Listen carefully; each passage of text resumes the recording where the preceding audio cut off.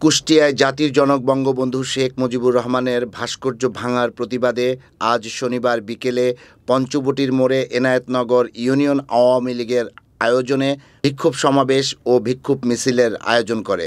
সমাবেশকে ঘিরে ফতুল্লা থানা এবং এনায়েতনগর ইউনিয়ন পরিষদের বিভিন্ন জায়গা থেকে মিছিল আসতে শুরু করে। অল্প সময়ের মধ্যেই সভাস্থল মিছিলে মিছিলে পরিপূর্ণ হয়ে যায়।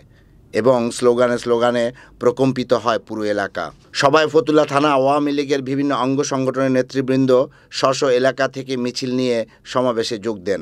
যারা স্বাধীনতা চায়নি, যারা আমার বাংলাদেশ চায়নি, আজকে তারা আমার এই মানচিত্রে থাবা বসিয়েছে, আমার জাতির পিতার ভাস্কর্যের উপর হাত দিয়েছে, তারা বাংলাদেশকে অশান্ত করতে চায় সমাবেশে উন্নয়নের মধ্যে ভাস্কর্য ভাঙার মতো নেককারজনক ঘটনার তীব্র নিন্দা ও প্রতিবাদ জানিয়ে বক্তব্য রাখেন প্রধান অতিথি ও নারায়ণগঞ্জ জেলা আওয়ামী লীগের সাধারণ সম্পাদক অ্যাডভোকেট আবু হাসানাত শহীদ মোহাম্মদ বাদল।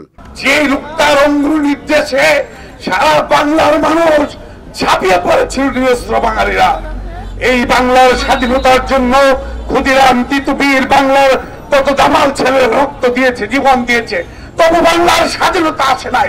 পৃথিবীতা সেনের মতো বাবার মা, বোন যারা নাকি জীবন দিয়েছে, রক্ত দিয়েছে, বাংলার স্বাধীনতা আছে নাই। মাত্র এই পনেরো মিনিটের ভাষণ, সতেরো থেকে আঠারো মিনিটের ভাষণে সারা বাংলা উত্তাল তরঙ্গে নিরস্ত্র পালেরা সেদিন স্লোগান দিয়েছিল মুজিব তুমি কে? আমি কে? বাঙালি বাঙালি তোমার আমার ঠিকানা সমাপনী বক্তব্য রাখেন সমাবেশের সভাপতি ও ফতুল্লা থানা আওয়ামী লীগের সভাপতি এবং কাশীপুর ইউনিয়ন পরিষদের চেয়ারম্যান আলহাজ মোহাম্মদ সাইফুল্লাহ বাদল। আজকে দায়িত্বহীন ভাবে বলতে চাই যারা এই ভাস্কর ভাঙার পক্ষে কথা বলছেন তারা যুক্তি মেরে খান।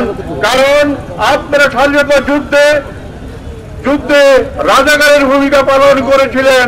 আজকে কেন স্বাধীন বাংলাদেশে আপনারা এই সমস্ত কথা বলবেন? সভা শেষে বিক্ষোভ মিছিলটি পঞ্চবটির মোড় হয়ে ফতুল্লা বাজার হয়ে আওয়ামী লীগ অফিসে এসে শেষ হয়। এস কে মামুনের ক্যামেরায় রিপোর্ট আহমেদ শরীফ পারভেজ।